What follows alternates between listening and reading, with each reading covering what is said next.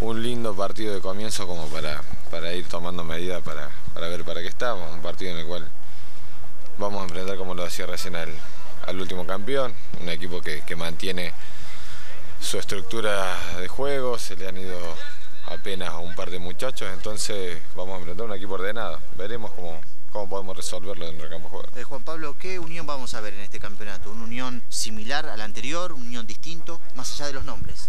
Sí, nuestra, nuestro trabajo, expectativa es tratar de, mejorar un poco lo logrado la, temporada pasada, tratar de, ser un equipo más, más ofensivo, tratar de ir a buscar los partidos, sobre todo visitante más, más adelante, no, no especular tanto con, con, lo que puede hacer un rival, sino eh, confiar más en las condiciones que tenemos en nuestro equipo, ser un poco más protagonista. ¿no?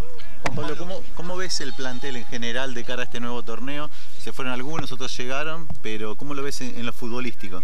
Bien, muy bien, tratando de, como lo, lo recién, de, ir agarrando ritmo de, competencia. Sabemos que ya faltan muy poquitos días como para, como para el comienzo. El equipo eh, logró tener un, una buena pretemporada en base a lo futbolístico, más allá del trabajo físico. Entonces creo que el equipo va, seguramente va a ir de menor a mayor.